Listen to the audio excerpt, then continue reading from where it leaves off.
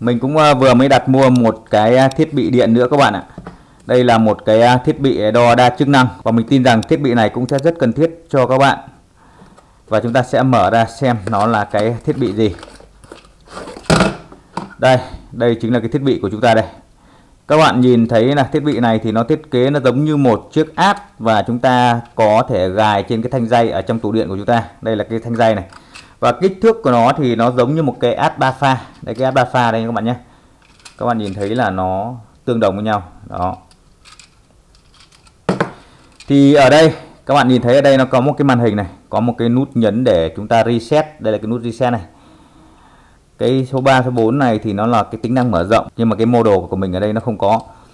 Tại cái số 1 và số 2 là nó sẽ cấp điện lưới 220 vào để nó nuôi cho cái thiết bị này còn đây là cái thông số của nó này. Đây các bạn có thể nhìn thấy nó đo được à, điện áp này từ 40 đến 300V này dòng điện là tới 100A này. À, đo được công suất là tới 30.000W này. Và đo được cả cái số điện luôn là tới 99.999 kWh và chúng ta có thể reset cái số điện này về không bằng cách nhấn cái nút reset này. Đo được cả tần số điện xoay chiều này đo được cả cốt phi hệ số công suất này đây cái sơ đồ mắc này thì nó đơn giản như này thôi. Rồi, về cách đấu của cái thiết bị này thì hết sức đơn giản thôi. Thì chúng ta sẽ lấy cái chân số 1 và chân số 2 là chúng ta sẽ cấp nguồn điện 220 vào. Thì à, một cái đầu dây nguồn ra tải thì chúng ta sẽ luồn qua cái lỗ này. Đây nó có một cái lỗ để nó cảm biến dòng. Còn cái đầu còn lại thì chúng ta cắm thẳng ra tải. Đây mình đấu đúng như này. Rồi, bây giờ mình sẽ cắm điện vào. Wow, các bạn thấy không? Màn hình khá đẹp luôn các bạn nhé. Màn hình màu mè các số luôn. Và đây nó dùng cái loại, giống như kiểu cái led 7 đoạn. Thì nó sẽ gồm có cái hàng trên cùng. Hàng trên cùng cái vàng này là thể hiện cái công suất của thiết bị. Hàng dưới là thể hiện số điện các bạn nhé. Còn cái hàng thứ ba là một cái màu xanh lá như này thì là thể hiện điện áp này. Và bên tay phải màu trắng này là tần số của cái điện lưới này phía dưới thì là dòng điện này màu đỏ là dòng điện này và cái màu xanh này nó là thể hiện cái hệ số cốt phi hay là cái hệ số công suất đấy. Như vậy là nó cho ra chúng ta là hai bốn sáu cái thông số. Thì các bạn thấy là hiện tại là mình chưa cắm tải thì công suất nó bằng không à, dòng điện nó bằng không. Tần số của chúng ta đang là 49,9 Hz nó tương đương với gần 50 Hz của cái điện, điện lưới. Đây mình đang cắm điện lưới nhé đây là cái điện áp là 230V bây giờ mình sẽ dùng cái đồng hồ này của cái hãng Kyoritsu mình sẽ đo xem. Chúng ta sẽ đo điện áp xem nó có chuẩn xác hay không.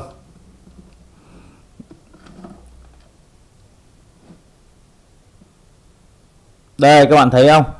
À, điện áp trên Kyoritsu trên à, đồng hồ đo là 229,5V còn cái kia là 230,4V nó cũng ở cái mức tương đối. Vì cái à, sai số của cái thiết bị này nó khoảng là một phần trăm các bạn nhé. Bây giờ chúng ta sẽ kiểm tra xem là nếu như mà chúng ta cắm cái thiết bị này vào cái hệ thống tủ điện nhà chúng ta, nó có bị ăn điện nhiều không? Chúng ta sẽ dùng cái đồng hồ để chúng đo. Rồi, bây giờ mình sẽ để thang đo dòng xoay chiều rồi, chúng ta sẽ đo nào.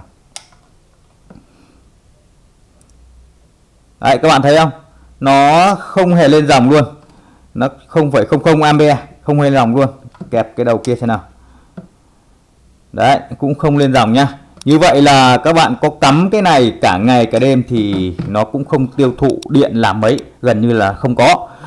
Rồi bây giờ chúng ta sẽ tiến hành cắm tải vào. Đầu tiên mình sẽ sử dụng một cái tải bóng đèn này nhé đây là một cái tải gần như là thuần trở.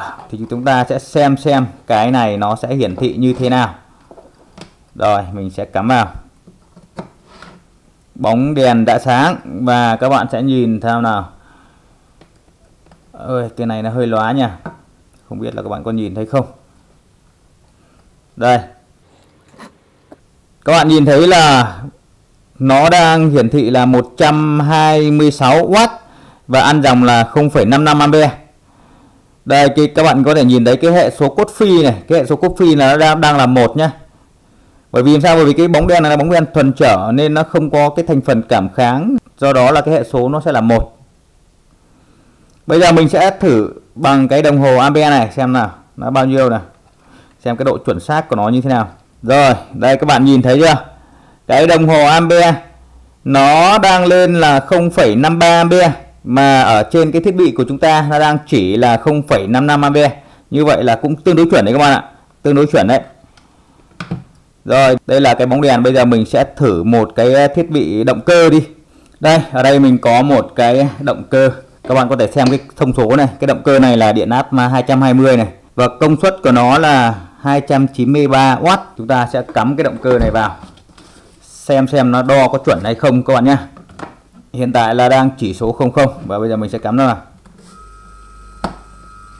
Động cơ đã chạy và hiện tại với cái động cơ chạy không tải như này thì à, công suất của nó là 116W và cái dòng của nó ăn là các bạn có thể nhìn thấy đây là 0,68 ampe.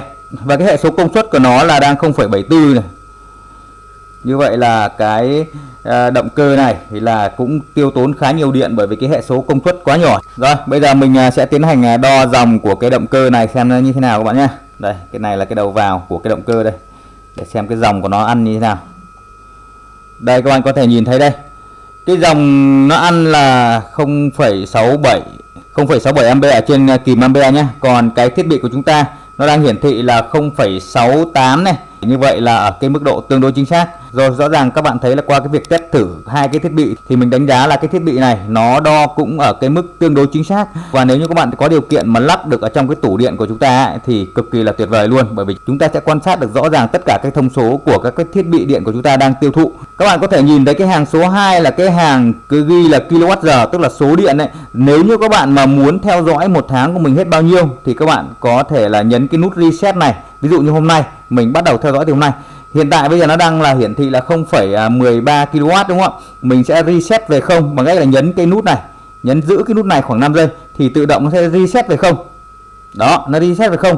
Thì các bạn có thể theo dõi đến ngày mai hoặc ngày kia hoặc là đến tháng sau. Cái số này nó hiển thị bao nhiêu số thì chúng ta sẽ biết được rằng là cái tháng đấy nhà mình sẽ tiêu thụ hết bao nhiêu tiền điện và à, đồng thời chúng ta có thể làm căn cứ để chúng ta sẽ so sánh với cái công tơ ở ngoài cột điện của điện lực. Đây mình đã mở ra cho các bạn xem đây nhá. Các bạn có thể nhìn thấy này ở đây nó có một cái cục tròn. Cái cục này chính là cái cục TI để cảm biến cái dòng điện đây. Cái cục TI nó sẽ nối vào hai cái đầu như này. Hai cái đầu này thì chính là cái chân à, số 3 số 4 này thì à, nếu như mà các bạn muốn dùng cái cục TI ngoài ấy, thì chúng ta chỉ cần nhấc cái cục TI này ra. Chúng ta sẽ nối vào cái chân này xong đó cái cục này chúng ta để ở bên ngoài. Chúng ta sẽ uh, bắt vào một cái pha nào đấy. Ở đây thì nó sẽ có một cái bo mạch phía dưới này. Bo mạch phía dưới chính là cái bo để nó sẽ lấy cái điện áp đầu vào cung cấp cho mạch. Đồng thời nó cũng sẽ lấy cái giá trị điện áp thực tế của cái điện lưới. Mình đã mở luôn cả cái bo mạch ở đây ra rồi. Đây chính là hai cái con so sánh các cái thông số và tính toán cũng như là xử lý để hiển thị lên màn hình. Cái con nhiều chân này là chính là cái con hiển thị lên màn màn hình này. Các bạn nhìn thấy này. Ồ, cái màn hình này nó giống như một cái màn hình à, tinh thể lỏng ấy. Nhìn à, ở bên ngoài thì các bạn thấy là nó giống như kiểu các cái con led à, 7 đoạn ấy nhưng mà khi mà mở ra thì nó lại cái là cái dạng màn hình này.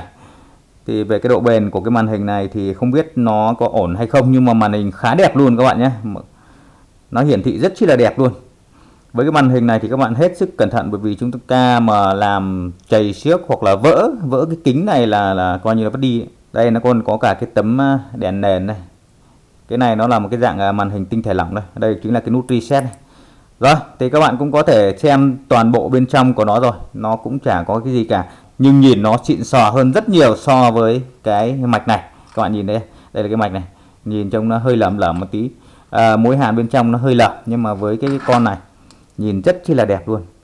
Tiếc rằng là tất cả những con xử lý này Trung Quốc nó xóa số hết đi nó không cho biết là cái mã linh kiện nào rồi, cảm ơn các bạn đã theo dõi video của mình. Nếu các bạn thấy video hay, hãy nhớ ủng hộ kênh của mình bằng cách là nhấn chuông đăng ký, like, chia sẻ để nhận được nhiều các video hơn. Cảm ơn các bạn.